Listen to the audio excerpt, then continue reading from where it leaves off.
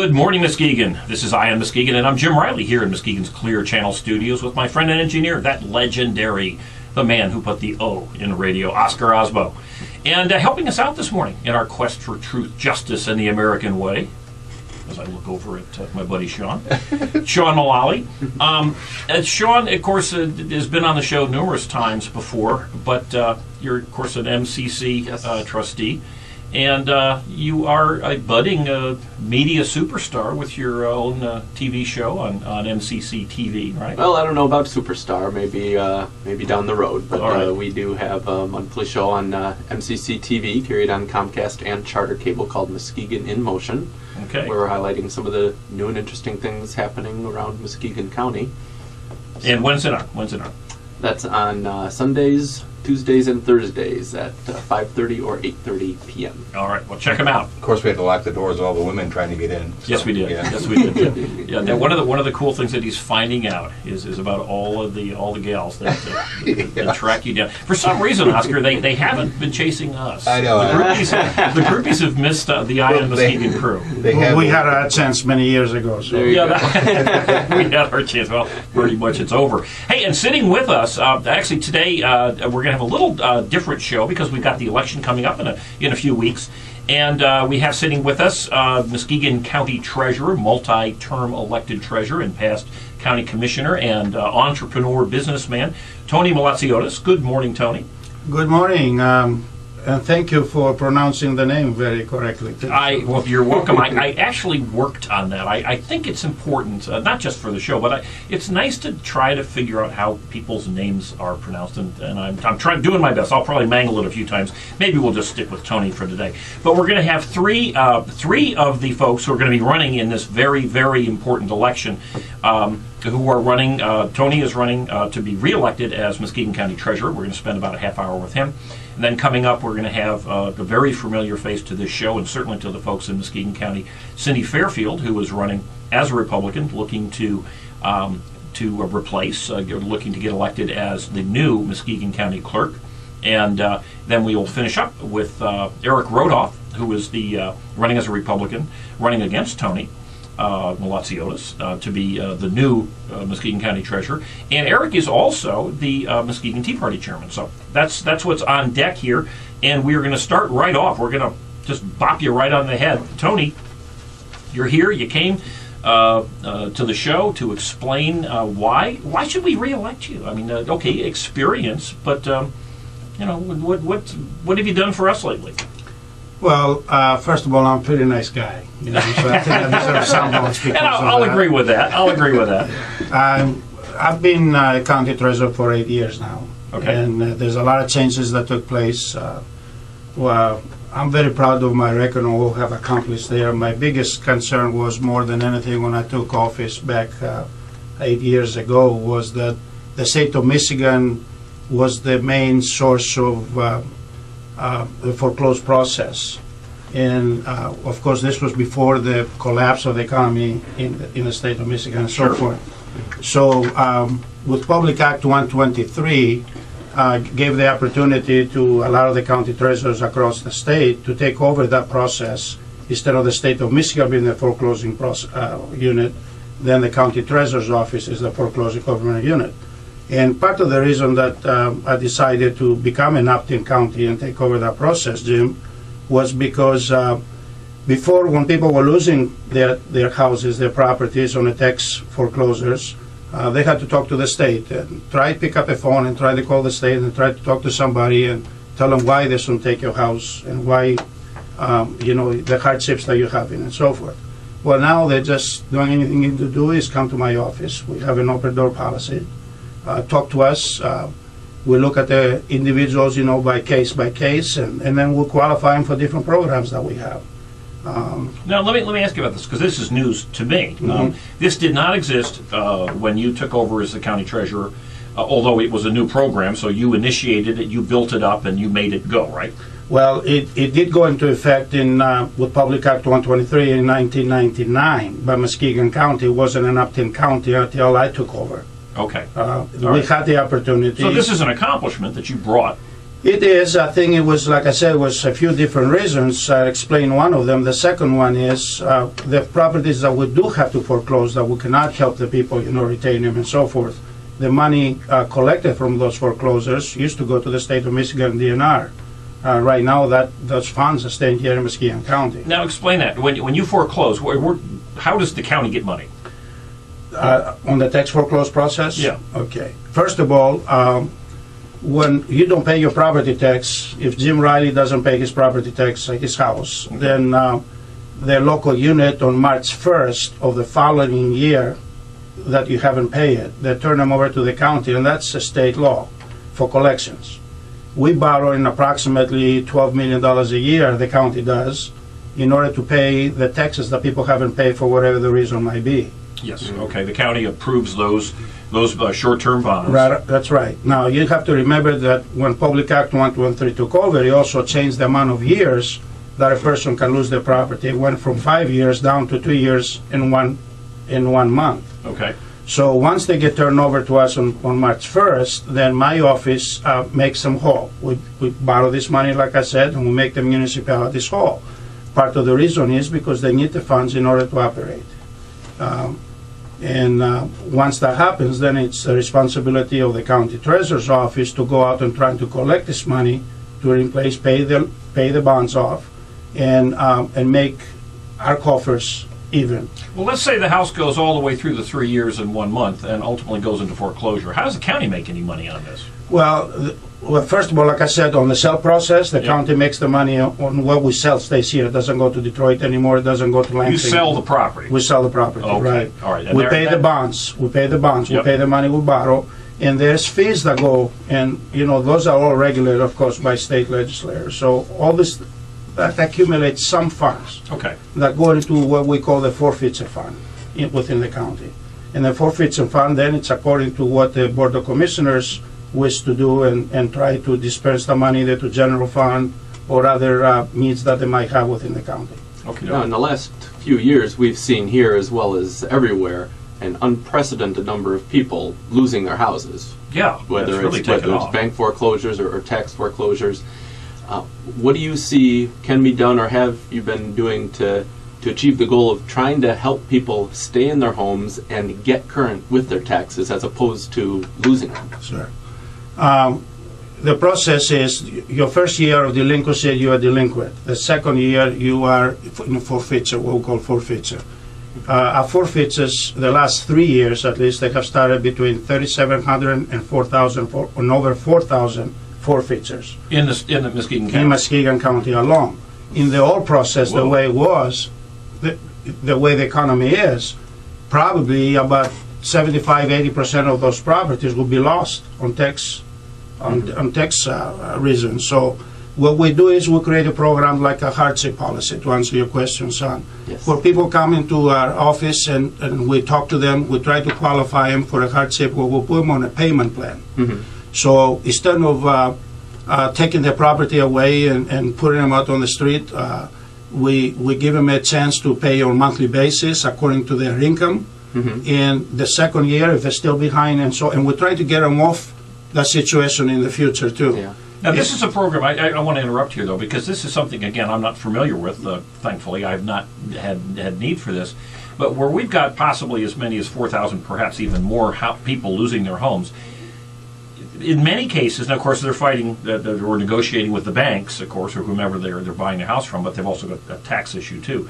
But if they have a problem, they can then come in and, and, and into the county uh, treasurer's office. Is this a program that you began? Uh, well, it, it's nothing new. It has happened in other counties. I adopted a program and we expanded it from there. Okay. along with us trying to help the people, we also have partnered with a lot of different uh, nonprofit entities within the, the community, churches and so forth. If they're in a position that they cannot make any payments whatsoever, um, we get them in touch with those kind of people and we try to help them by outside agencies coming in and helping uh, the homeowners stay into their into their homes. There's a kinder, gentler side of the treasurer's office. I didn't know that, and and, and I, I don't want to spend a lot of time talking about what the treasurer's office does per se. Although, frankly, I think it might be interesting down the road. But questions. You've you've got some things that you're very proud that you have, have accomplished over time. What have you got in mind for the future? Anything new? Are you saying, okay, if I get reelected, uh, the things are going on, the county's money is limited, state's money is limited, blah blah blah. Um, what what what ideas do you have going forward? Well, first of all, we don't know where the economy is going to take us at this point. Things are getting a little better and so forth. We're always looking for new ways of trying to, because the county treasurer's office is not just tax foreclosures.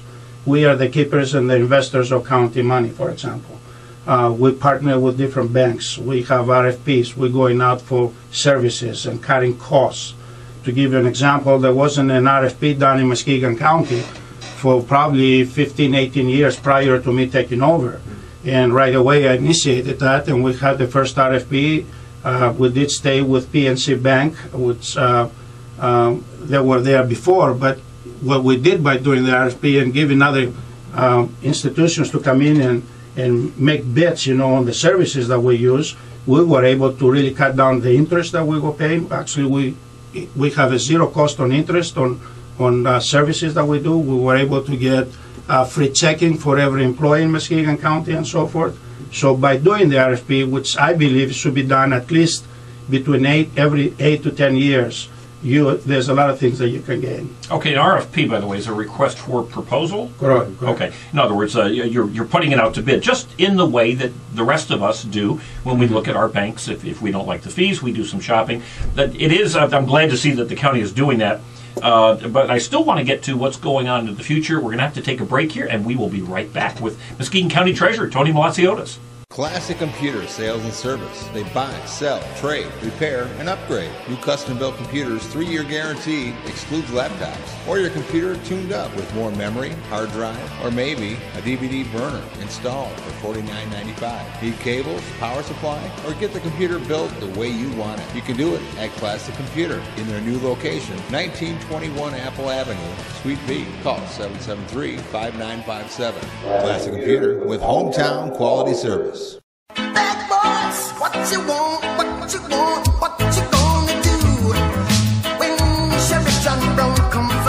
Call Bad Boys Bail Bonds. Open 24 7, 365 days a year. Agents statewide and nationwide. We do 10% bonds for less.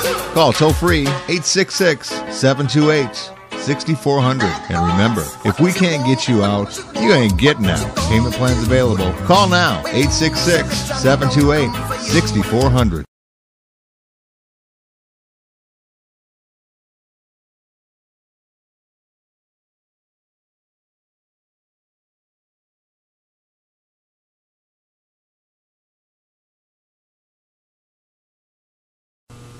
And we are back at Muskegon's Eye on Muskegon, and we are talking with uh, Muskegon County Treasurer Tony Moulatsiotis and uh, my sidekick Oscar Osbo. I'm Jim Riley, and we've got Sean Mullally, uh, media superstar Sean Mullally, with us. Um, before the break, Tony asked you a question about what, what are you looking to do going forward? Are there any great, grand new ideas or, or, or things that you're planning? If we reelect Tony Moulatsiotis, this is what we're going to get uh, in the next couple of years. First of all, my office is governed by laws and I have to follow the laws. So I'm trying to stay with every aspect of the law in every area that my office is involved in.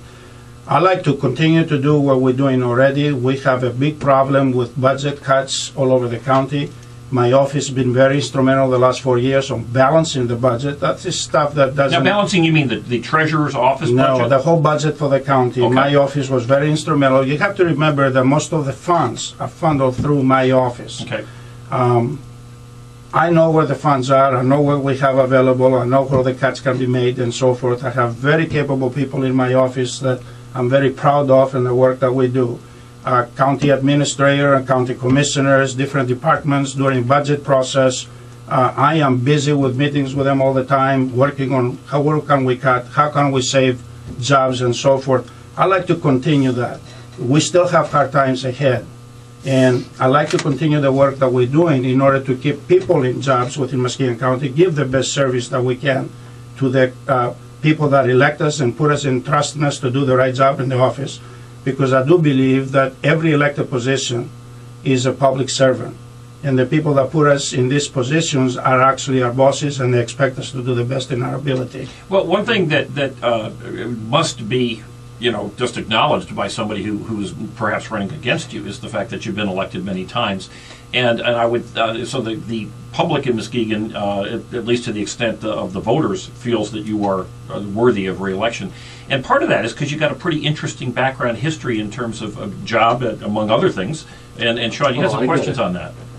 I got to say, voters typically want to know more about uh, a candidate than uh, than what you've, you've you've done in office. And you've been our treasurer for quite some time, but you're you're more than that. You you own a couple of uh, very popular restaurants in in the community, and my personal favorite, the Al- Tree Cafe, has some of the best coffee in town. I must say. Thank you. You know, usually restaurateurs come bringing food, and Oscar, I I don't smell any food here this morning. I had to start early this morning with other meetings, so I didn't get a chance. If you had let me know, I will make made sure we had something.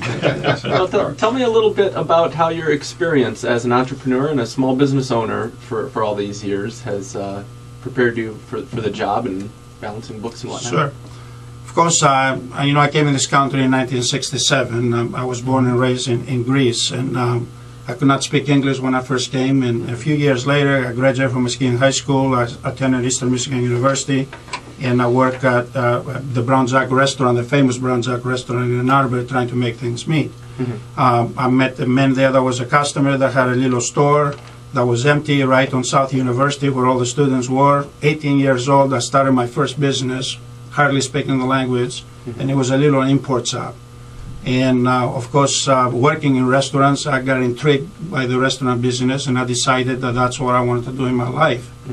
So when I got married, um, we moved back to Muskegon. Both my wife uh, at the time and, and myself, you know, we came from Muskegon. That we went there.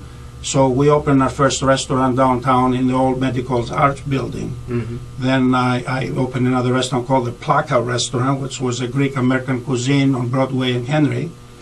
And in 1981, I opened one of 17 uh, stores in three states, uh, pizzerias that I call it Greek Tony's Pizza. And eventually, from there, of course, we went with the Two Tony's Taverna Grill in Spring Lake, along with Tony Tag. Uh, that's why it's called Two Tony's, Mhm.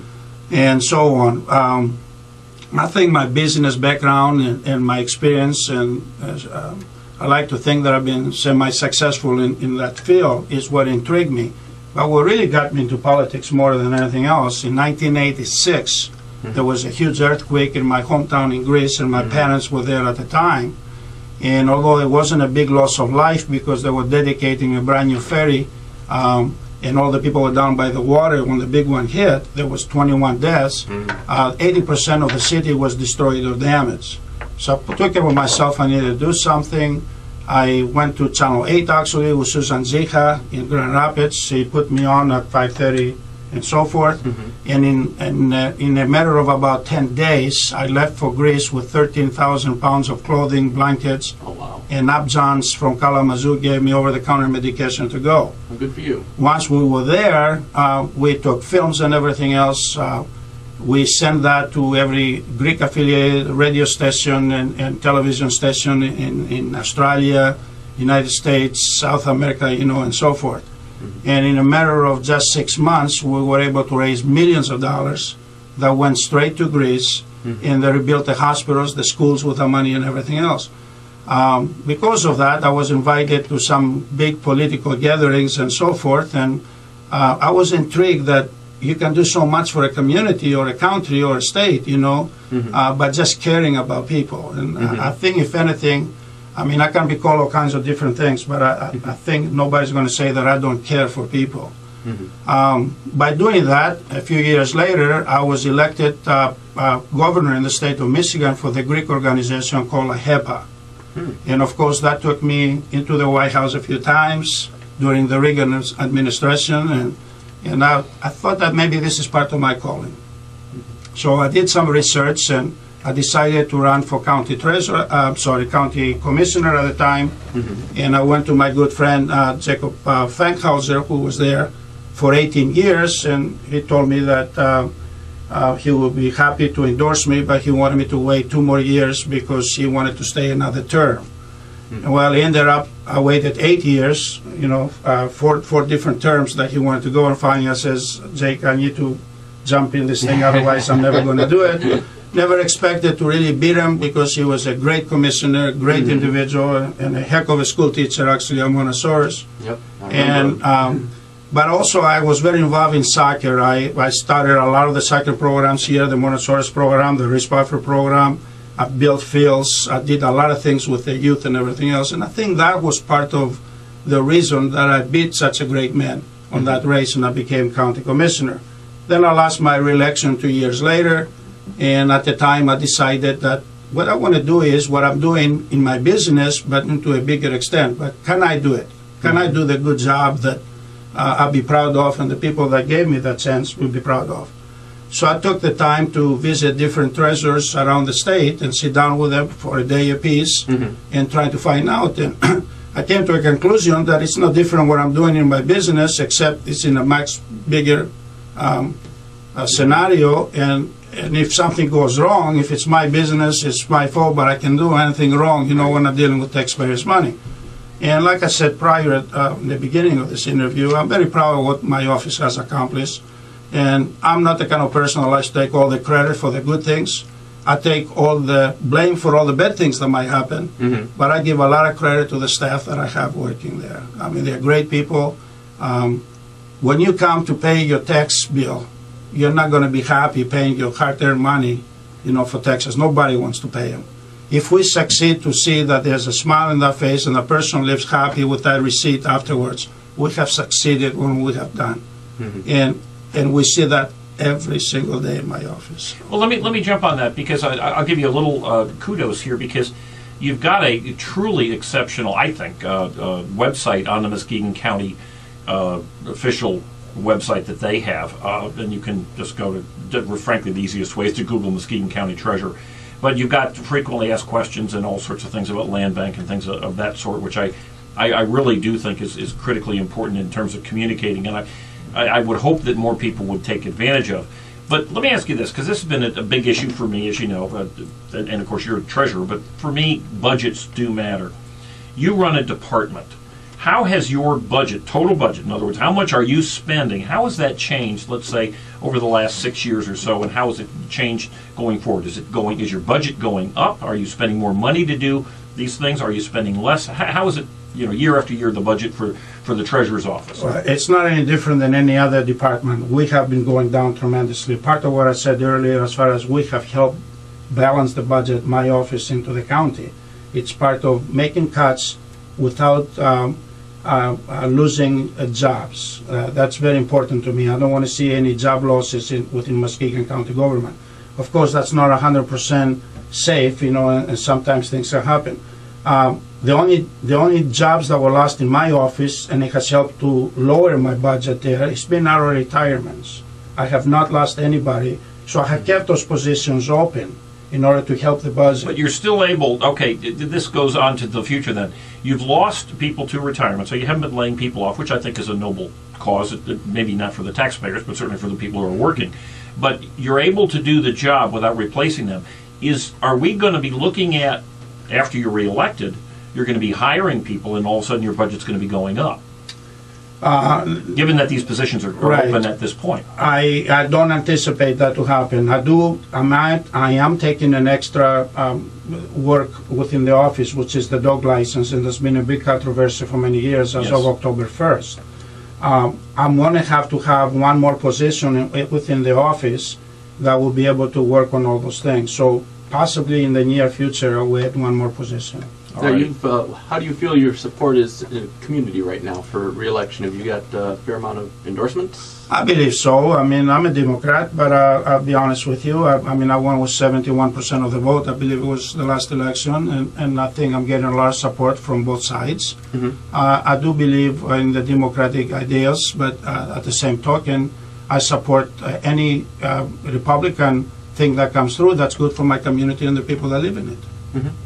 Well, I think the biggest uh, the, the biggest thing for me is: are there serious problems in whatever the office may be? Are there issues? Uh, certainly, I ran for public office. I believe that there are some some serious problems that are deserving of being addressed at the county level. But um, I, I, I looked, I dug into. I would like to find um, always some warts in the treasurer's office. I've not been able to find them. Uh, you seem to have been doing a pretty good job at this point.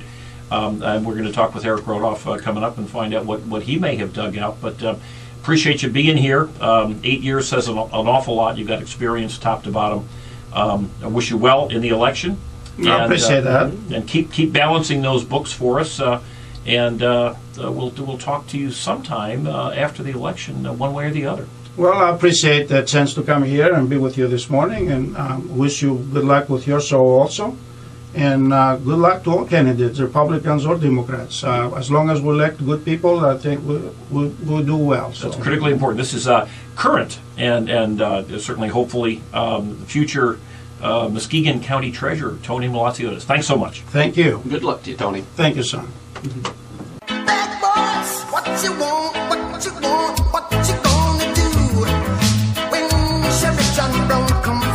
Call Bad Boys Bail Bonds, open 24 7, 365 days a year. Agents statewide and nationwide. We do 10% bonds for less.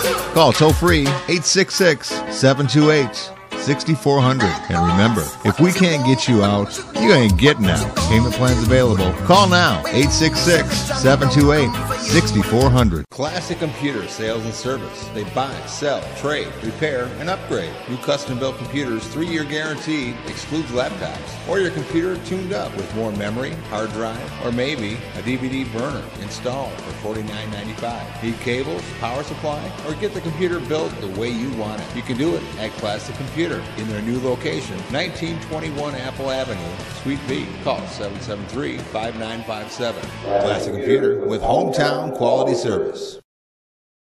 Make a run for the border. Taco Bell is waiting to cook for you. Delicious tacos, nachos, chalupas, gorditas, quesadillas, or try their famous grilled stuffed burrito for only $1.99. Make it a combo for only $3.49. Their large variety includes specialties, combos, supreme salads, and kids' meals. Taco Bell, the best fast food north of the border. So walk in or drive up. Visit all of the Taco Bells in West Michigan. Open Sunday through Thursday, 10 a.m. to 11 p.m. Taco Bell's open Fridays and Saturdays from 10 a.m. until 1 a.m. And we are back at Eye on Muskegon, and we we have replaced uh, county treasurer uh, with a county clerk. Uh, Wannabe, I guess. That's maybe not the right way to put it. Candidate. Candidate. well, and, and, and, and she most certainly would like to be uh, Muskegon County's next county clerk. And uh, I want to Cindy be the Fairfield. president. Does that count? I don't know. Well, uh, that's, I'm not That's sure. the next I don't step, want to be right? There we go. But we do have Cindy Fairfield. Uh, Cindy's got a, uh, th- well, most people in Muskegon Count, County know about uh, Cindy Fairfield if they don't know her uh, personally. And Cindy, you are um, running hard to be Muskegon County's next county clerk. Um, before we get into your campaign and why it makes sense for uh, voters to elect you, I'd like to mention that we did contact um, county, the current county clerk, Nancy Waters, and while she said that she'd like to be on the show, she said, "Look, I'm I'm very busy because we have a very very uh, complex uh, ballot coming up in November." And I don't really want to be on the show talking about me, Nancy Waters. I want to talk about this this ballot, which I think is a, a worthy thing. But our show today is to talk about candidates. So Nancy uh, uh, sends her best regards, and um, uh, perhaps we will get her on at some point um, before the uh, uh, before the election to talk about the ballot. But I would like to mention the ballot to this extent: if you are, uh, if you have not already voted, um, please either go on the county website, go on the Secretary of State's website, or I think preferably uh, contact your county clerk and strongly consider voting absentee. This year's ballot, with all of these uh, constitutional amendments, there are going to be six of those, uh, very complex, all sorts of uh, different um, uh, candidates running for everything. And, and my understanding is that we're going to have two pages, the ballot's going to be two pages, front and back. And what will happen, I'm sure, is, and I saw, we saw this when we had that, that miserable 13% turnout in August, where people didn't understand the ballot, and even though the lines weren't very long, people had to go back and forth. There were miscountings. Uh, it's going to be a, a real nightmare when it comes to the Board of Canvassers and getting these things right. You don't want to go to the, uh, the voting uh, uh, location and find that there's a big long line. My recommendation is not to vote early because stuff happens just before the election that you, you really ought to be aware of. but get the ballot. Strongly consider either doing your homework, uh, but more importantly, I think if you can get an absentee ballot, um, I, I believe you. Really all have to say is that I'm not going to be around uh, locally to vote. You, it's not. It's not a big issue. reasons. There's several reasons that you If can you're use. if you're over, I believe it is the age of 60, I think it's 60. 60 or 62, one of the two. If you're if you're over that threshold, you can get it without any other reason whatsoever. Well, and, and if you're under that threshold, you can just say, I'm not going to be in town uh, uh, and get one. But again, this will reduce the, the backup in there. Uh, so anyway, uh, and I think it's a big issue because it's a huge issue for uh, the county clerk. That's one of the most important jobs of the county clerk. And Cindy, I'll just start right out with this. Um, You've got a tremendous experience, um, and maybe we'll touch on this. We will touch on this in a sec. But why should we get rid of uh, a county clerk who's obviously popular? She's a very nice lady, and she appears, to, at least uh, at first glance, to have done a fine job for many years as county clerk. Why do we need a new clerk? Well, Jim, um, the county clerk's position, as you know, is not a very sexy position. I, as I've been across the county talking to people, most people do not know the services that the clerk provides. You know, they get to know their lawmakers, uh, they get to know policy type things, but they don't realize that the clerk's office touches almost every single person in, in this county at some point or another. And it's important work. Again, it's not sexy work, but there were some issues that I learned as I was editor, and some of that was from readers calling me, some of it was in the course of our Now, you mean when you were editor of the Muskegon editor. Chronicle? Yes, editor of the Muskegon Chronicle. Let me let me uh, make that clear. I have not been at the Chronicle since November. I left uh, uh, prior to the recent changes that were made. Okay. But some of the issues that, that came up were some issues that had to do with transparency and they had to do with customer service. The, probably the first issue that we ran into was the office was closed on numerous occasions, uh, sometimes weeks at a time You mean during during the week? during business hours from 8 until noon because the office was so behind in internal filing. We had customers who would sometimes take off a half a day of vacation or whatever so that they could go uh, uh, get their work done there, and they would go to the office only to find that they couldn't do it. No, no. Okay, let me ask you because that's a big deal. Um, is that happened in, in the last uh, six months, year? or- It is not. It was in the early part of the administration. I think what happened was a lot of her, once she got elected and got in By there. her, you mean the, the current county Yes, the clerk, current Nancy Waters. county clerk, once she was elected, a lot of her um, workers elected to either transfer jobs or to retire early.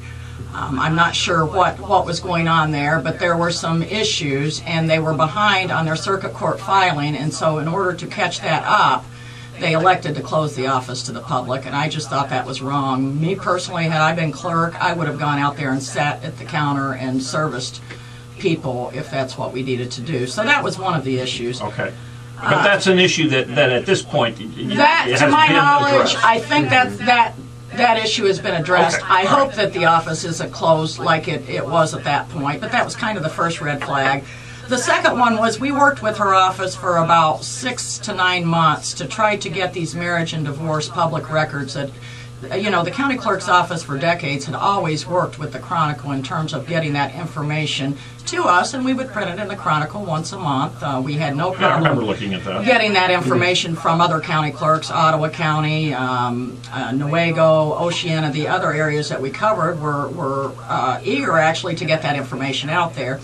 And for some reason, Nancy didn't want to work with us on that, and she elected not to give that information to us. And so I filed a Freedom of Information Act, which is a, a process that you can do to try to get public records. And I I have it. done that with the county successfully. I, I, I think you have done that, and uh, I learned that the county clerk may give that information to us, but she does not have to. And for some reason, she elected not to, and I thought that was a little strange.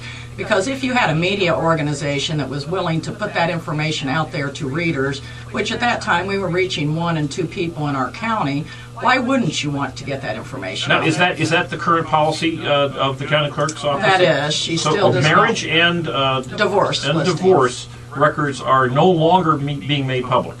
But that's within the law. She's allowed. Or She's whoever the allowed clerk to. is. Now, if we knew specifically who got married that month, I, as an individual citizen, could go down there and request that. But what I was wanting to do was to get the monthly who did it. And I think it's valuable information, not only for readers, but certainly for businesses and, and things to see what, what marital transactions have That's taken interesting. place. I didn't know that. Okay, so that's that's current policy, and you would change that policy. I would change that policy. And, and I think one of the biggest issues, and this was what Amanda Mateer also was running um, on when she challenged um, Nancy in the And, primary. and Amanda, yeah, Amanda was uh, was a Democrat challenger who and who uh, did lose in that primary.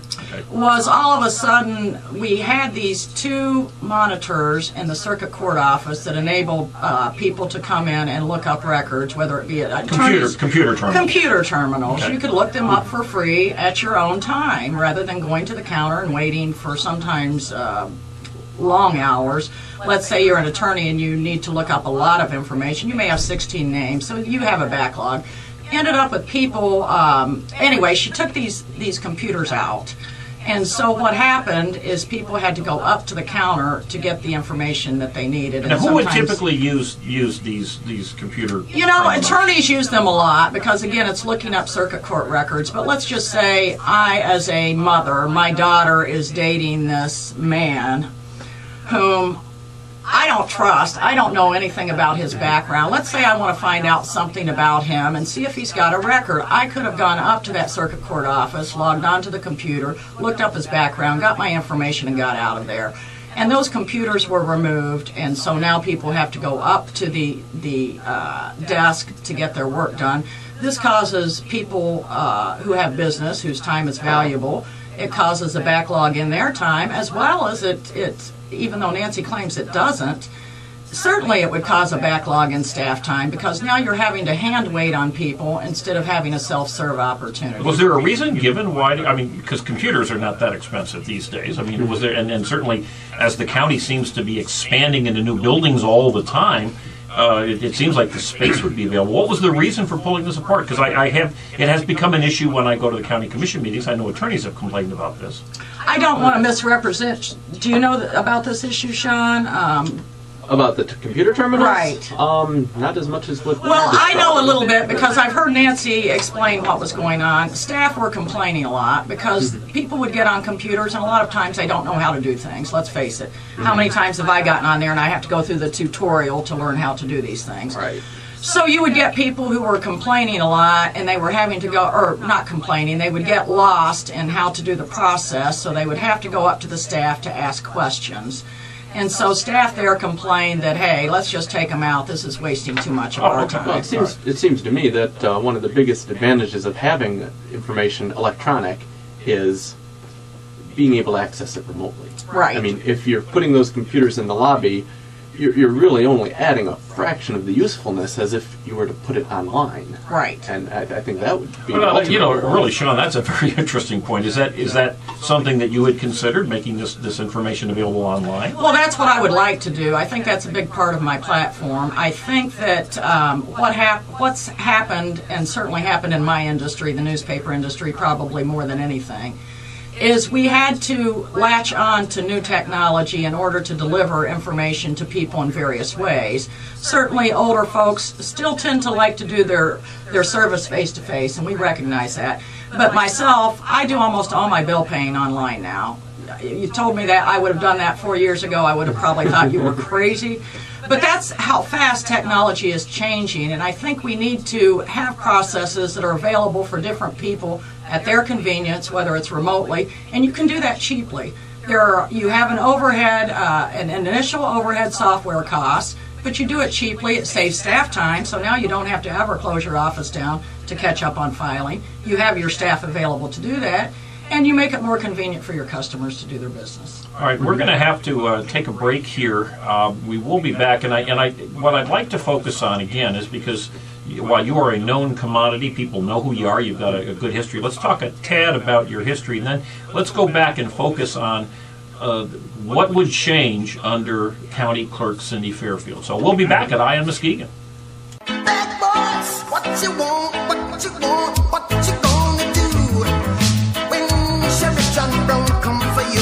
Bad Boys Bail Bonds, open 24 7, 365 days a year. Agents statewide and nationwide. We do 10% bonds for less. Call toll free 866 728 6400. And remember, if we can't get you out, you ain't getting out. Payment plans available. Call now 866 728 6400.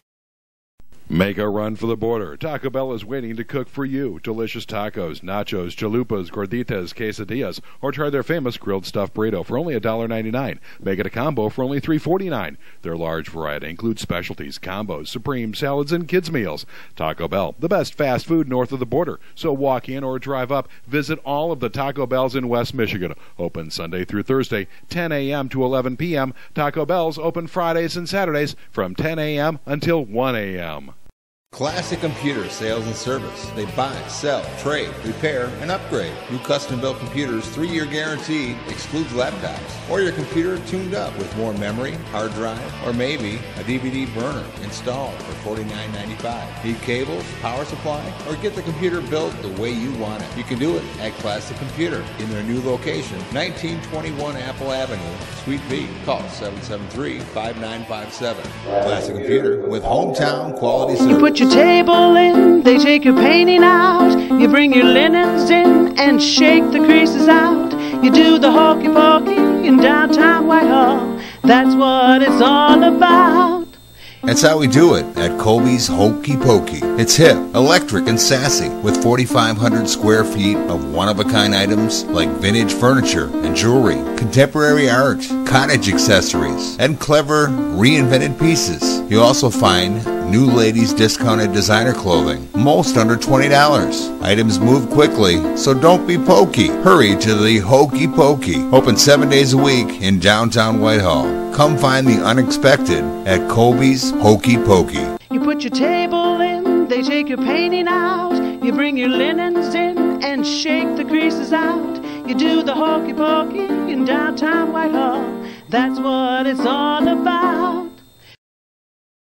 And we are back at Eye on Muskegon, and we're talking with Cindy Fairfield, who is a Republican candidate for Muskegon County Clerk. And Cindy, uh, I jumped over this, but I, I want to get back to um, you've got a pretty extensive history in Muskegon County. Tell us a little bit about Cindy. Uh, certainly, we know about your newspaper a little bit, but I know there's a lot more to the story. Well, you know, a lot of people ask me because I've had columns in the paper, and a lot of people really didn't know. I, I've been accused by conservatives of being a left wing liberal, and I've been accused by uh, liberals of being a conservative. So a lot of people really didn't know what my political affiliation was, and I think that's important when you're running a newspaper. You really need to agree. be broad minded on that. I am running Republican, Jim. I'm not quite nearly as conservative as you, but I grew up in a family. My dad was a, a union man. He worked at at GE, and and you know we had hard times. Um, Where did you grow up? I grew up in southern Ohio, near Cincinnati, and Well, um, that is something we really ought to hold against you. come on. But she ended up here. But I ended up There here. My go. husband is from Muskegon. I've been All here right. for, for nearly 27 years.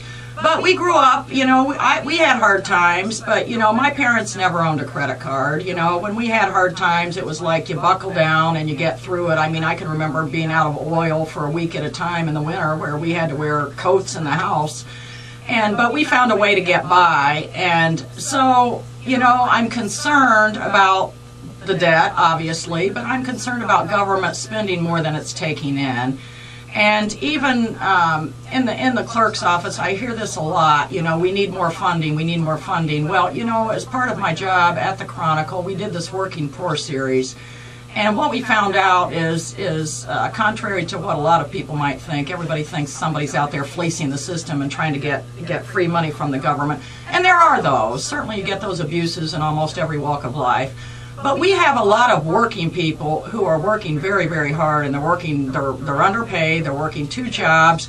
They can't afford to pay more taxes for the services they need. So you know, I have some experience at the Chronicle working with fewer resources and uh, uh, a retracting budget. And I'd like to bring that experience into our county clerk's office and see how can we keep the services that you need, keep them convenient for you without asking for more funding, without raising fees on things. I think that's very important in our county. Well, tell us a, a little bit more, more about that. You were at the Chronicle for, for many years, and that's how almost everybody in this community knows you. Ultimately, as editor, mm-hmm. and during during that time, the the Chronicle went through a lot of challenges, a lot of changes, as did the whole newspaper industry nationwide. Obviously, what does that experience of having to make some some very dramatic changes and in a lot of cases cutbacks in an organization what what kind of lessons do you take from that that you might apply to working in our county government? See, I think that's a that's a that's been a very valuable experience to me. Nobody wants to go through that, and I know certainly county government is, is going through that now as as the, the tax rolls have, have decreased. Nobody wants to make cuts, but but you know I, I view myself as I'm kind of a problem solver. I'm kind of a person who likes to look for solutions. How can we look at different ways of doing things? Certainly. Um, you know, when I took over, we had a staff of approximately 53. That staff, over a three-year period, uh, uh, retracted down to about 27 people. So I lost almost 50% of my staff, and the challenge was we wanted to keep our newspaper going on a seven week, seven day a week cycle. And even as other newspapers were, you know, as early as 2009, the Detroit Free Press and News went down to three days a week, and and some other papers on the east side did too. I wanted to make sure that we didn't do that. And so I had to look at different things that we did. How did we get the news? You know, we used more community news, but really what we did is we did a lot more cross training, and I'd like to see that more in government. I think there's a lot of silos in here, like, you know, I know Tony Malazzi Otis was in here earlier. I think there's ways that we can we can look into other areas of our government, whether it's Register of Deeds, County Treasurer. What areas can we share? How can we, you know, cross over into these other areas, do more collaboration, more teamwork to bring a better product to our customers and also save the county money? And I think my experience in looking at a budget, looking at ways to, to find solutions, I think that's something that would be useful that I could bring into that office. Let me, I asked uh, Tony this question, Tony Moulatsiotis. Uh, one of the areas that, that I, I think deserves more looking into is the budget of each of the uh, the elected officials. Uh, you name it. It seems to me that we ought to, we ought to be shown from one year to the next what the specific budget is. It's a little hard to figure that out. Um, do you believe? Uh, I, I, know it's awful tough without be, having hands on, but have you done enough digging to find out has the budget, uh, has the county clerk's budget gone up? Are they spending more money to do the job, or do we do we know that yet? No, I know that Nancy had to cut $100,000 from her budget um, in her first year there, and that's tough. Okay. I get it, you know, because I had to cut a million out of mine over three years. Sure. So I understand, and it's difficult when you're looking at different things. The budget process, and, and Bonnie Hammersley assured me that it was going to be a little bit more readable, a little bit more transparent. I don't know if you've had your opportunities to get on that budget, but it, basically you have to be an accountant to read it. So I haven't had an opportunity to delve in there to see, you know, what are we doing? You know, I know at our office at the Chronicle, we used to go through vendors quite a bit for some of our office supplies.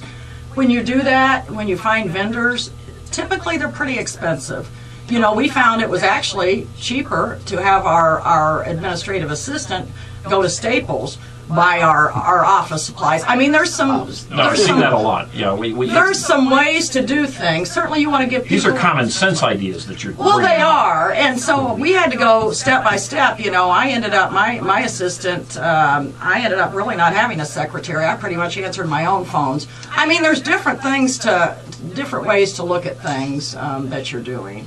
anything uh, I, I, I want to still talk about maybe what the county uh, clerk does, but specifically what you're talking about is looking into it about how we can make it uh, less expensive, saving money.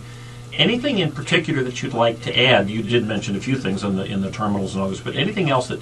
Okay, Cindy Fairfield is now our new county clerk. What what would we see new under the this administration? Well, I want to continue the online process. I think Ottawa County is kind of a leader in the whole state, to be honest with you, in terms of what they have online. And I realize that they probably have more resources in their office because they have more population in their county. But they're really a leader on that, and, and they've pretty much got all of their circuit court files are online. Um, I would like to see that happen, all of those be online. I would like to explore, you know, doing juror uh, questionnaires online, um, um, there may be an area that we can explore in that that regard. Uh, marriage licenses, I'm not sure. I think Nancy started working on that a few months ago, trying to get marriage licenses online. Anything that we legally can do online, we ought to do online because it does save money. I know that one thing uh, Nancy did that I'm I'm a very big advocate of is she did bring campaign finance online. I must admit, I think that's wonderful. That's a wonderful Very thing. But here's an area that I think we just need more experience in looking at things. Ottawa County gets theirs done for free with an existing vendor. My understanding is we're paying about $3,000 a month to have that service, or at least we were at one time, paying about $3,000 a month to have that service done. So, so we just need to be kind of creative and looking at options where we can find opportunities to save money and still provide services. You know, I, I, I will say, what. Well, the only thing I was going to say about having things online is it going to be, do you have a certain uh, place in mind that you're going to use that would put this online? Because there are some places online that are very difficult to go through, and there's are, are some other ones that are very smooth and, and explain everything pretty well and very simple. Oscar, I think mm-hmm. that's a really great point because I had to use a lot of technology at the Chronicle. I'm old school, you know. I, I'm back in the days where we had the typesetters and, and you know the, the tape coming out of the AP wire. I mean, you know, it's mm-hmm. it's just crazy. So so I'm not someone who can get in there and I don't want to troubleshoot. I want things simple. Right. For one thing, I want I would like to redo the the cover page of the county website, and immediately for people who go there, the first thing you see when you go to the county clerk's website, online services. So you have a list of these are the things that you can access online, so people know right away. I would like an area that says frequently asked questions because my gosh, ev almost everybody's website I go to, whether I'm paying a bill or whatever, I'm always in those FAQs, you know, because I get messed up. Actually, uh, uh, looking at Tony Moulatsiotis's uh, treasurer's website, they've got uh, the, the whole section there. Uh, I would say the clerk's current clerk's website is, is very good, but you're bringing up some ideas that are not on that site. And I think you know one thing I like about um, elections is that it does put the pressure on on who's, who's ever running to get innovative and come up with, with different ideas to be more efficient. You just went through this in business. That's what competition is all about. Um, it always seemed to me, we, we have Muskegon County, and, and sadly, to too many people, and, and, and sadly, it's too true in too many occasions, we are the mistake on the lake. And when we have right next door to us, we have Ottawa County, who is not a mistake, whose, whose jobs are growing, whose taxes are lower, whose debt is lower. The, the differences are so clear, it's, it's frightening. And it always seemed to me that too often in Muskegon County, our elected officials and our uh, county employees want to reinvent the wheel when we've got just a few miles down the road someone who's really spent a lot of time looking at the wheel and, and it's running like a, like a Firestone tire, you know, or a Goodyear tire. And um, I, I like the idea from what you're telling me here is that you're looking, you're in communication with folks in, in other counties where it does work because uh, I'm not going to knock our current county clerk's uh, office because frankly I think it does work pretty well. There's no question it, it can, like all the other offices, can work better. And I like I like the fact that you're looking to those places where it can look, where we can make it uh, more efficient and less expensive. Because as Tony Moulatsiotis said, and, and anybody who knows anything about uh, what's going on in our world economy, it isn't getting better here. It most certainly isn't getting better in Michigan. It most certainly isn't getting better in Muskegon County. We just had, um, not that long ago, we had uh, unemployment numbers come out. Uh, again, Ottawa County's numbers going up, Muskegon County's employment numbers going down. That's that means that translates into less uh, less uh, money to operate the services that are critical in, in the county.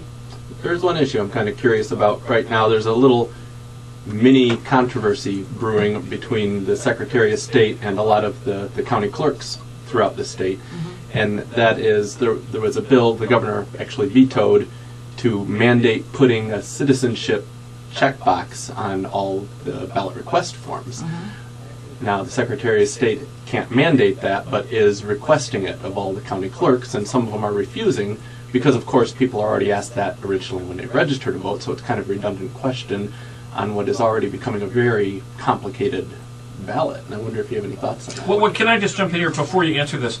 Um, I do not believe that you need to answer the question that you are a citizen when you motor voter register to vote.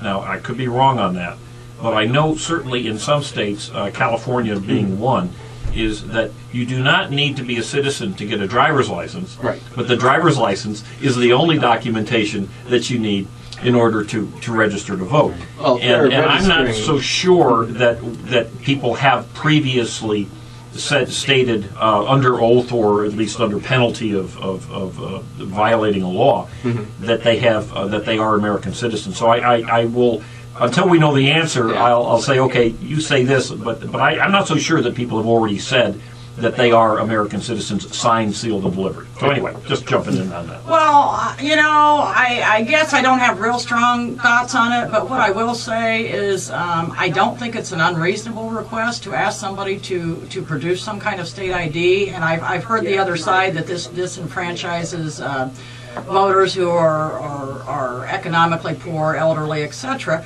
But you know, I've been a member of my credit union for 26 years, and every time I go into my bank, even though they know me there, I've been there a thousand times, far more than that. I always have to show my license in order to, to get my business done.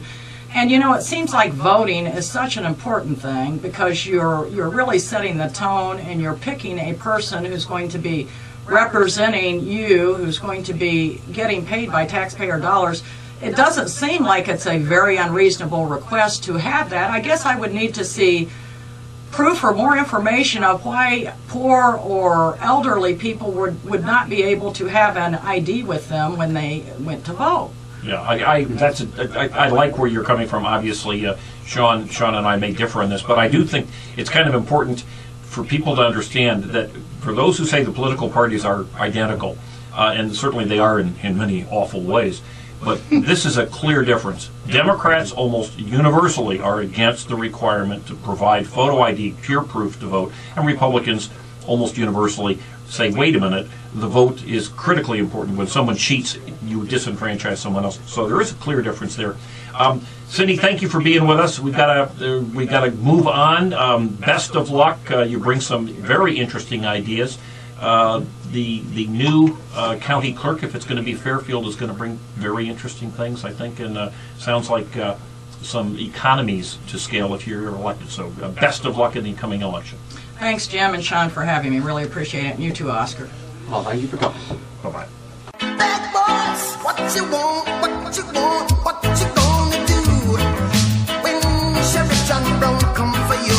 Bad Boys Bail Bonds, open 24 7, 365 days a year. Agents statewide and nationwide. We do 10% bonds for less. Call toll free 866 728 6400. And remember, if we can't get you out, you ain't getting out. Payment plans available. Call now 866 728 6400. Classic Computer Sales and Service. They buy, sell, trade, repair, and upgrade. New custom built computers, three year guarantee, excludes laptops, or your computer tuned up with more memory, hard drive, or maybe a DVD burner installed for $49.95. Need cables, power supply, or get the computer built the way you want it. You can do it at Classic Computer in their new location, 1921 Apple Avenue, Suite B. Call 773-5957. Classic Computer with hometown quality service. Make a run for the border. Taco Bell is waiting to cook for you. Delicious tacos, nachos, chalupas, gorditas, quesadillas, or try their famous grilled stuffed burrito for only $1.99. Make it a combo for only $3.49. Their large variety includes specialties, combos, supreme salads, and kids' meals. Taco Bell, the best fast food north of the border. So walk in or drive up. Visit all of the Taco Bells in West Michigan. Open Sunday through Thursday, 10 a.m. to 11 p.m. Taco Bell's open Fridays and Saturdays from 10 a.m. until 1 a.m. And we are back at Eye on Muskegon. We've got Jim Riley, your host, Oscar Osbo, the, the, the main man, Oscar, the legendary Oscar. And we've got um, Sean Mullally helping us out as co host today. And uh, we have a candidate, the Republican candidate for the Muskegon County Treasurer's Office, Eric Rodoff. Good morning, Eric. thanks you for, thanks for stopping in. Um, Eric, you have got a, as far as I'm concerned, one of the most interesting backgrounds. Although certainly Tony Moulatsiotis's uh, background is really quite interesting in and of itself. But Eric, uh, give us a little background. Who are you? How'd you get here? Well, uh, I actually graduated from Michigan State University with two degrees. All My right. golly, we got three of us right it. here. Well, Two degrees. right Two direction. degrees. One one in international relations and the other in computer science. Okay. And right after college, I went over to the former Soviet Union to work on help uh, establishing the free market, where I built a telephone directory service like our Yellow Pages. Okay. Uh, Interesting. Now, where you- uh, where in the Soviet Union? A city called Ust-Kamenogorsk, Kazakhstan. Uh, easy for you. Won't to ask you to spell it. okay, but Kazakhstan, which is now a standalone republic, Yes. is that correct? Okay. Well, that's interesting. Yes. Uh, okay, I was gonna. We could spend a whole hour talking about that. But then a- a- after that, I came back, um, where I then started a nonprofit called Michigan Watchdogs, All right. uh, which is to investigate the waste, fraud, and abuse in all local government throughout the state of Michigan. which I would imagine is a, a job that's never ending Very much so. already. Well, that's okay. So, uh, and any anything else you want to tell us about Eric Rodoff? Because uh, I did mention early in the show that you are the, the current chairman of the Muskegon Tea Party. That so you correct. are re- running as a Republican, and you most certainly are a fiscal conservative. that is very true. Okay, all right. And you think that uh, that you would be a better uh, treasurer for Muskegon County than the current uh, occupant? Very much so. Okay, tell us why. Well, first of all, I care what goes on with the cities and townships. Uh, currently, we have not sold our prop- the properties that they have for sale, and they've charged back over 1.4 million dollars to the cities and townships because we can't sell the property. No, wait a minute. I, I, I don't. Tell me more about this because when you say we, who is the we? Oh, the, the county. Okay, the county has. The county has a public land bank which they um, have to do every year Okay. to try to recover the lost taxes. In other words, they they uh, sell houses that have defaulted on their taxes. Yes. And then they take the money in. Uh, and they sell the houses to somebody else. Okay. Right. That seems pretty reasonable. What, Right. what what's wrong with that? Well, because we're one of the few counties that actually have had to charge the cities and townships back because we don't make enough money. We either bundle the properties together uh, so they can't be sold, or we take them and put them into the county land bank. Now, when you say we, who's the we? The county. Oh, okay. So, so we got to be we got to make sure we're clear as to who we're talking about because it isn't you or me. No, no. It is. It's essentially it's Tony Moulatsiotis who runs the, the county treasurer's department. Correct. Okay, let's let's take one step at a time.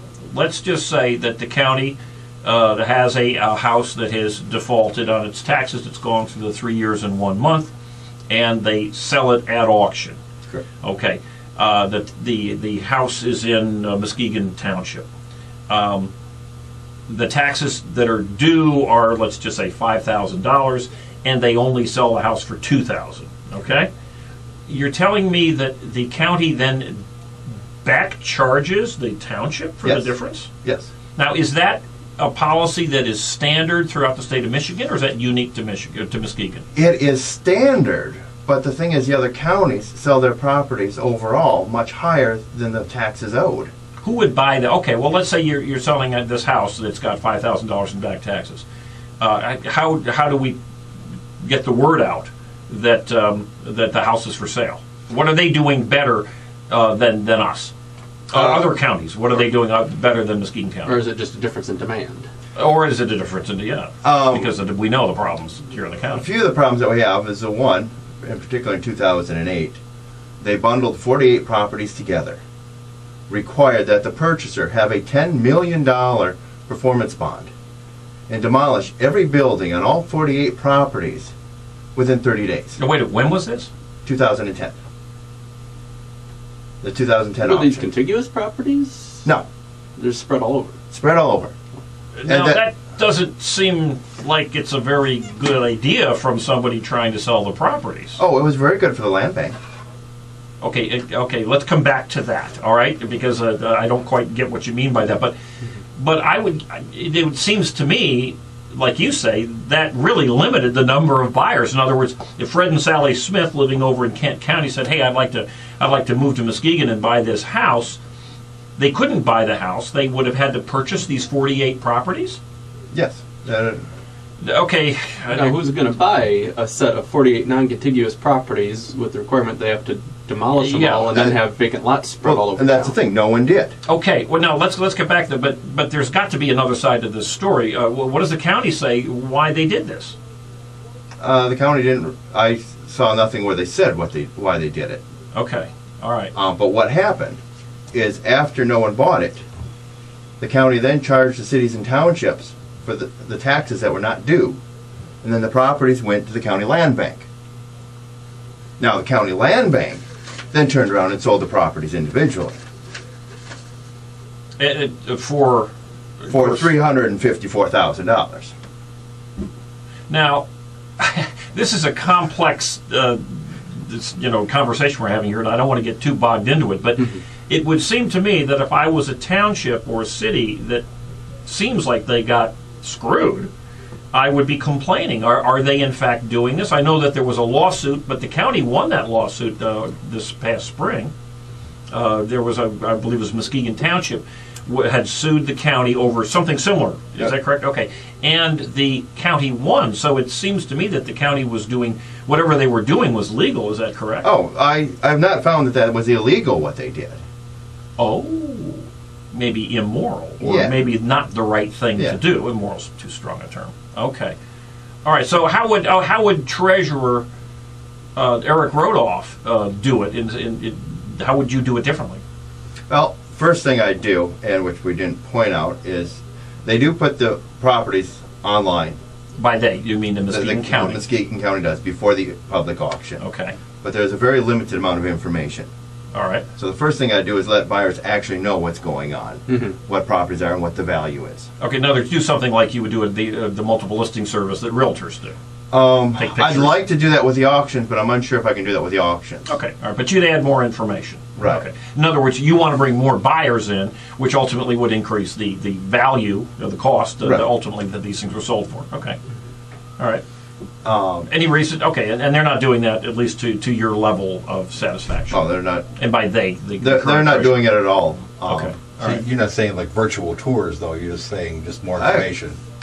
Tell you the truth, on some of them, I might very well do that. Virtual tours would be a more a bigger seller, I would think. but- True. I mean, we, we got With property- technology, that's not rocket science. Right, right. Yeah. No, I mean, and, and the property's values, some of them, I mean, you got houses sold for a hu- uh, 150, 200,000 dollars normally, but they, the one particular one went for five thou- or 50,000 in cash.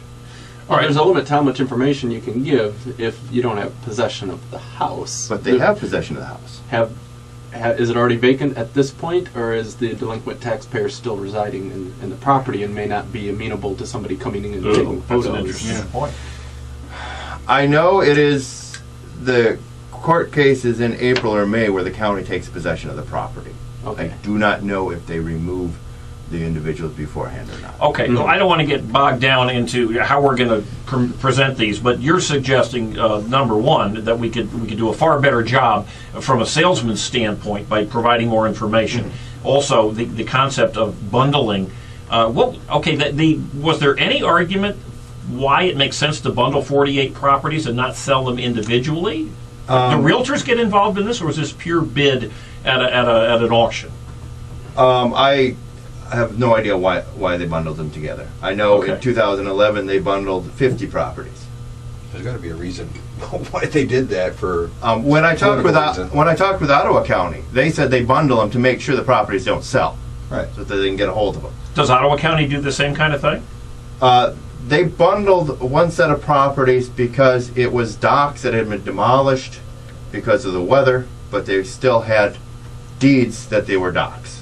Okay, so, so they, they do bundle, but, but they do it in a different way. Special In other words, circumstances like when you spoke, it's interesting, again, that we've got somebody else who's contacted Ottawa County, the county that does seem to work very well for ideas. So, okay, now, there's, there's two reasons why uh, an elected official would do something that, that doesn't seem to make sense. Well, there's three reasons, actually. One is that it does make sense, and we don't know the rest of the story, all right? At this point, we don't know the answer. But one would be ineptness. They just, you know, laziness, whatever. You know, ah, it's easier to do the 48, bundle them up, and, and uh, we don't need to worry about it. And the other one is that they've got some ulterior motive. Uh, you have suggested before that there might very well be an ulterior motive, not a criminal one, not, a, not enriching themselves, but what? Why do you think they're doing this? Well, um, all 48 properties went to the, then to the land bank. Okay, the land bank is is when when a defaulted property um, uh, it doesn't sell, then the county takes possession and the county owns the land. Is that correct? The county land bank is actually a joint venture between the county and the state of Michigan County Land. Okay, all right. Which is supposed to collect properties to stabilize property values and stop blight. Okay. So do they then engage in rehabilitation? Do They're they supposed then- to. They're supposed to do rehabilitation. The, by the, okay, the, The county- they. county land The they is the county. All right. No, the county land bank, the land bank entity. okay. which is a separate entity. okay. Although the treasurer is in charge of, is the chairman of the land bank. It is a separate okay. entity. All right, okay, but let's just make it simple. We have one house that goes back to the land bank, okay? The county gets this, uh, this house, Mm-hmm. it goes into the land bank, all right, because uh, it didn't sell. Right. All right, what does the land bank do with it? They, they can either fix it up, or, or what else might they do with it? They can fix it or sell it, Okay, but they approve who purchases. It. Not anybody can purchase it. So, So it's not an auction situation at that point. No. oh, oh, so there's opportunity then for people to, to say, hey, this is to be sold to my niece's brother-in-law. Exactly. I mean, that, and that, Is that what you're alleging is happening? there was one instance where um, uh, Commissioner Snyder uh, closed the meeting, left, then they reopened. closed closed the meeting of the the land, land bank? Okay, made it made it a, a secret meeting. No, no, he Ended closed and the left. Oh, he ended the meeting. He ended the Oh, meeting. okay, all right. He left. Two minutes later, they reopened it, and then voted somebody to purchase a piece of property. And then when you say the they again, we got to The- stick the- with nouns. Sorry, the, the, the, the county land bank. Oh, okay. and The then- remaining people that were there. Of which he sits on. He sits Snyder. on. Okay, So- I, I'm not sure why that's an issue. The fact that someone had left. The meeting. question then is, was this done to, what to- conversations happened in the hallway is Well, maybe wha- the wha- open. wha- why why would you two minutes after a meeting reopen the meeting and then pass something with the chairman not be, or not chairman was the the acting suggestion that they wanted to do something that, that the chairman didn't want done? Chairman. My my my idea is yeah, Oh. but they didn't want something that Snyder would have voted against them. Oh, okay. All right. Well, that, that's that's that's very interesting. Um, this is news to me. Um, uh, we have to take a break. We're going to come back. We're going to talk about the land banks. We're going to talk about the county treasurers. Uh, we're going to talk about interesting things uh, that are going on that uh, that you need to know. We'll be right back. Bad boys, what you want, what you want, what you gonna do when Sheriff John Brown come for you? Call Bad Boys Bail Bonds. Open 24 7, 365 days a year. Agents statewide and nationwide. We do 10% bonds for less. Call toll free 866 728 6400. And remember, if we can't get you out, you ain't getting out. Payment plans available. Call now 866 728 6400. Classic Computer Sales and Service. They buy, sell, trade, repair, and upgrade. New custom built computers, three year guarantee, excludes laptops, or your computer tuned up with more memory, hard drive, or maybe a DVD burner installed for $49.95. Need cables, power supply, or get the computer built the way you want it. You can do it at Classic Computer in their new location, 1921 Apple Avenue, Suite B. Call 773 5957. Classic Computer with hometown quality service. Make a run for the border. Taco Bell is waiting to cook for you. Delicious tacos, nachos, chalupas, gorditas, quesadillas, or try their famous grilled stuffed burrito for only $1.99. Make it a combo for only $3.49. Their large variety includes specialties, combos, supreme salads, and kids' meals. Taco Bell, the best fast food north of the border. So walk in or drive up. Visit all of the Taco Bells in West Michigan. Open Sunday through Thursday, 10 a.m. to 11 p.m. Taco Bell's open Fridays and Saturdays from 10 a.m. until 1 a.m. And we're back at Eye on Muskegon. Jim Riley, your host, with uh, Eric Rodoff, uh, candidate, Republican candidate for Muskegon County Treasurer, and Sean Mullally, and Oscar over there running the board. Um, we were talking a little bit about this land bank thing, and, and I, without getting too wonkish in here, but you're suggesting that in fact, because of the inefficiencies, for whatever reason, bundling 48 properties or 50 properties and things of that sort, that there are auctions that are not getting the best return uh, for for these properties. In some cases, forcing um, the townships and cities to make up the difference, which, needless to say, they can't be happy with. And it's fully legal, uh, Yeah. obviously, because of this uh, court case this past uh, uh, spring.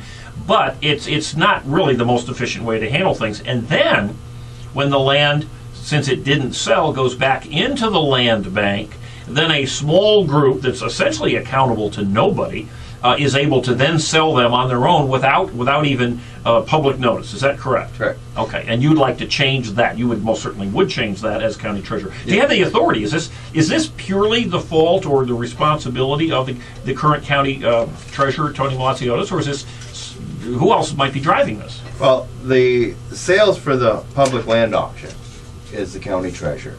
He's in charge of that. So he decides whether they're bundled or not, and, and he Right. decides how they're promoted and, Right. and all that. Okay, all right. Um, he is also uh, chairman of the county land bank, but there are mo- other members on that board that operates that. Okay, but at this point, you don't have any real specifics aside from this one meeting that you referred to in the last segment.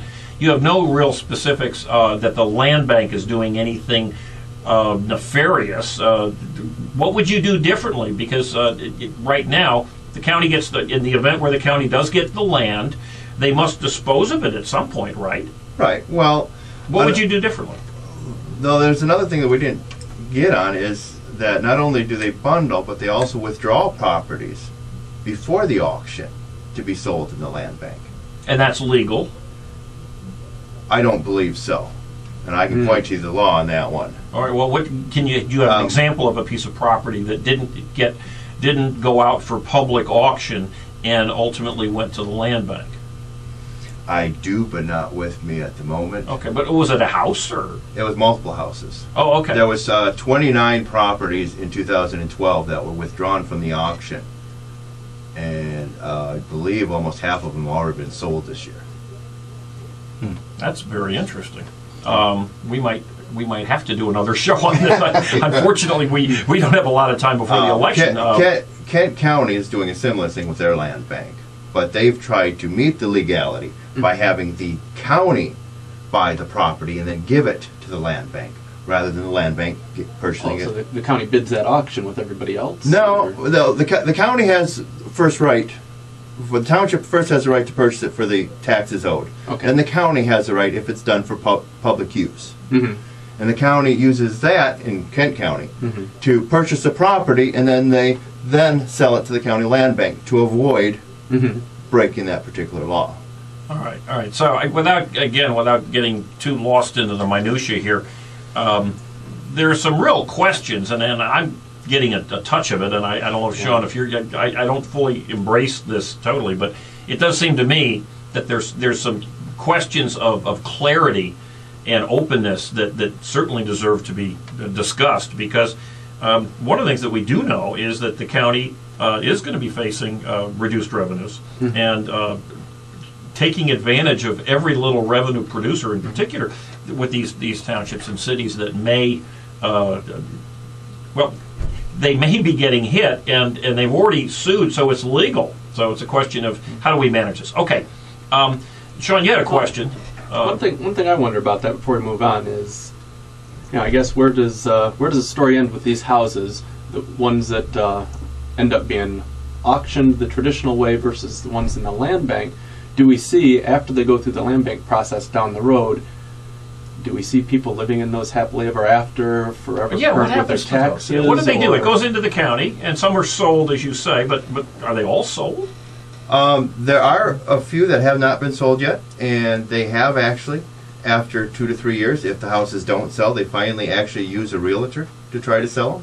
But Mm. until that time, it's only off of their website. Mm.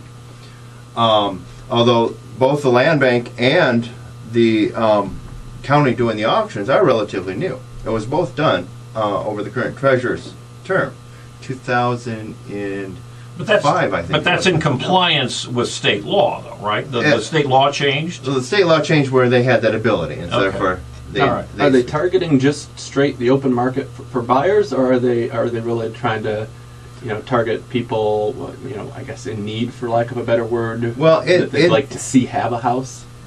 Um, I'm not sure their criteria for selling. Although in the minutes, one time they refused to sell it to somebody that they called was a flipper that would buy it and sell it. Mm. Um, And motivation to purchase They had had the money, but they didn't want it. negates the person who's who's the highest bidder. well, this wasn't the bidder. This was on the land bank. This was when it was already in the land bank. All right, but somebody wants to buy it, and they say I'm going to flip it, and they're paying the high. They're they're offering the highest value at that point. Yeah. Oh, that's interesting. So we don't like people making a profit, um, but but we don't have anybody else willing to pay us more for it. That's, and, that's and, and there was two incidences in another one of the, the minutes Mhm. where they had the coordinator of the land bank go to people that had expressed interest to try to get them to purchase it through the land bank rather than at the auction. Wow. One of them agreed to um, purchase it through the land bank. The other one went to the auction and And the benefit, the benefit in doing that to, to whomever is what? Why, why would somebody say, don't don't buy it on auction, buy it from us at the land bank? What's the benefit to, to the land it's, bank? it's the price whatever the land bank sets. Okay, but in Yeah. other words, they would get a lower price. Is it that? Possible, if, because there would be no one bidding against it. All right. So, The- so the- there's an opportunity for But the- nefarious But things to there is, happen. is a second issue with any property sold at the land bank. The cities and township and schools only get half of the taxes for five years Mm. All right. because that money goes to the land bank to help fund it. But you would think it would seem to me that if, if what you're saying is, is an accurate rendition, that, that the cities and the townships would be kind of screaming bloody murder over this. And I haven't heard much other than this one lawsuit from from Muskegon Township. Is is why aren't they? You know, if this is such a bad thing, why aren't they making some noise? because um, personally, I don't think they understand a lot what's going on with it. It was all created a few years ago. Oh, Now, one thing, one thing I want to hear about before we uh, run out of time is um, you said what you're doing professionally these days is you are you're running the, uh, the nonprofit that you Yep. you organized, uh, Michigan Watchdog. Um, I'd like to hear a little bit about that and um, you know, what uh, what you've accomplished, what you hope to accomplish with it. Okay. Well, what what we do is we go through and we watch the cities and townships on how they spend their money. Do you focus on Muskegon County or Cur- the whole cur- state? cur- currently, uh, uh, Muskegon County, simply Okay. because of a lack of funds to do more. okay. Um, next on our list actually is up in Oceana County. We've had a lot of complaints up there of uh, various underhanded dealings and stuff that we need to go up and investigate, but Mhm. it's been hard because we've had so much going on here. Sure. Well, there's elections coming up and everything else. Well, uh, and and uh, when you find something worthy of note, what do you do with it? Well, we do a few things. I mean, first we uh, publish it on our webpage, Which is uh, miwatchdogs.us. miwatchdogs.us. Yes. Okay. Um, then we also um, try to get it out to the different uh, newspapers. And how is how have they responded to your investigative journalism? Uh, sometimes they've published it, sometimes not. Okay. I know that they don't seem to be very uh, welcoming to the Mackinac Center, who does an absolutely spectacular job. Um, so it's, uh, it's it's it's tough getting the word out. Yes. The- the the newspapers sometimes seem to think that um, the the citizens are are the bad people and government are the good people. So all right. Well, let me. Okay, I want to get back to your campaign because uh, this is a big one. Uh, you're you're very interested in the land bank, which is an important part of the treasurer's office, but it certainly isn't the only one. There's a management component. There's a, a budget component. Uh, are they doing things efficiently? Um, uh, quickly, any other reasons why somebody said, whose whose gut says I'm going to vote for Tony Moulatsiotis, but no, I heard this this Eric Rodoff. Why why should somebody vote for Eric Well, as county treasurer? because I worry about everybody's tax dollars, not just the county. I worry to make sure that the cities and the townships and the schools receive all the tax dollars deserved to them. And I this don't- is in good measure because of this the land bank. Well, the land bank's Uh, one of them. any other- I mean, you you have, for example, the um, the dog licenses all tried to be brought under the county, Okay. under the treasurer's Yes, office, rather and, than. and, and uh, Treasurer Moulatsiotis said that he may have to hire somebody new in order to handle that. Is- Are you for this or against that? I think it should be done in the cities and townships, where Okay. they're closer to That's it. a different And issue. that's, okay, that's where all it's right. been. Yeah. That's where it's been. All right. Okay. Any other any other reasons? Um, the other, I have not been able to find enough information to say that he's doing better or worse than what I would. Okay, but but I, what I do like uh, is, and I heard the same thing from Cindy Fairfield. I like the idea of let's look at see what other people are doing that, that is the best for the residents, the businesses, the citizens of the county, and let's see if we can copy those those areas that, that are that seem to be doing better. And, and I like that. I appreciate it. Thank you for being with us. Um, Big election coming up, folks. As uh, we mentioned earlier, it's going to be a big, thick um, ballot. Make sure that you've done your homework. Uh, it certainly makes sense to um, to uh, uh, investigate, if not jump at it, uh, getting a, getting an absentee ballot. Get to the polls early. Well, get to the yeah, get to the polls early, and I and I, as opposed to voting early. Don't vote. Don't hand in your absentee ballot until the end because um, because things are going to happen between now and um, and the election. And uh, I, I would uh, again, this is this is such a critically important election. We know that. Um, Uh, certainly at the top of the ticket, the presidency is going to bring an awful lot of people out. In here in Michigan, we've got the Senate race, but uh, Muskegon County has serious, serious problems. I, I we're going to talk about this at another show, but um, it, the, the comparison between Muskegon County and Ottawa County, Muskegon or Ottawa County has 23 million dollars of bonded debt. Their population is significantly greater than ours. They have 27 million dollars of bonded debt. Muskegon County, this is before the jail, has 156 million dollars worth of bonded debt. The debt per resident in Ottawa County is $87 per resident. In Muskegon County, it's more than 10 times that at $905. So, so we can, it's not rocket science. It can be done in our county. Uh, businesses will come to a well-run county, and they will run away from counties that are not uh, well-run. Certainly, Wayne County, uh, where Detroit is, and uh, Genesee County, where Flint is, are, are examples. Muskegon County, to a much lesser extent, but uh, we, we need to turn this ship around. Um, I would recommend to everybody too to double check your polling places before election day if you're going to vote at the polls. Hopefully, you voted in the primary, and when only so you 16% know, of the registered voters but did, you bet. A lot of yes. people didn't, and it's been redistricted. They may have changed. Yeah, yeah, abs- absolutely, and we're gonna we're gonna pound on this uh, as as we get closer to the election. Hey, uh, don't forget though we do fo- uh, we do post the full audio and, and video of the show uh, on Sunday afternoons uh, at ionmuskegon.com, and of course I'm on the Talking Muskegon show on uh, every morning or every Monday, Wednesday, Friday morning with John Van Wyck and Brian Worsham. Uh, that's 1090 WKBZ, same station you're listening to here. And we've got TV, uh, TV 38, Comcast TV uh, 397, where we're on Monday evenings starting from 8 to 9.30. That's prime time, so hey, you know, nothing better than that. Right. Hey, thanks uh, again to Oscar Sean, Tony Malazio, to Cindy Fairfield, Eric Rodoff, and the entire crew here at uh, KBZ, and all of you great listeners and viewers out there in Muskegon land. Next Sunday, we're going to go into the Wayback Machine a little bit. We're going to take a look at parts of one of the first shows that we ever did. This is still one of the most popular in terms of people hitting it on iammuskegon.com, where you can look at all the old shows. Oakland County Deputy Director of Human Resources, Tom Eaton, had spoken at a forum titled The Future of Unionized Government, big issue coming up. And we replay parts of that show and examine, uh, re-examine how uh, Muskegon County compares with other counties in our wonderful state of Michigan. So, uh, big information to know before the election.